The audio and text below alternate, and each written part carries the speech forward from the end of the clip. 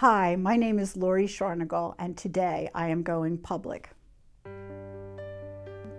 Got to a point in my life when I just didn't feel the power of God or the presence of God in my life despite doing everything.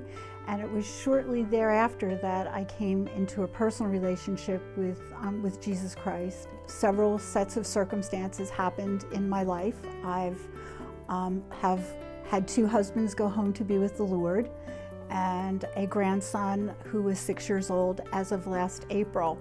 I was brought to this place and specifically to Ocean View Baptist Church, for which I'm really grateful. And that urge and that sense of wanting to make that statement now to not only as a proclamation to him, but um, to this community of believers who I want to hold me accountable for my walk.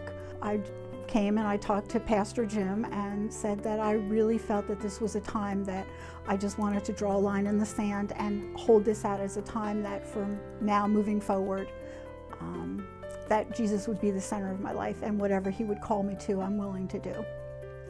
And I also want to make this profession, public profession here, because I want to encourage other people that they can begin anew today, no matter what has happened, that they can begin anew, and that He will work everything out for His purposes when we truly come to love Him.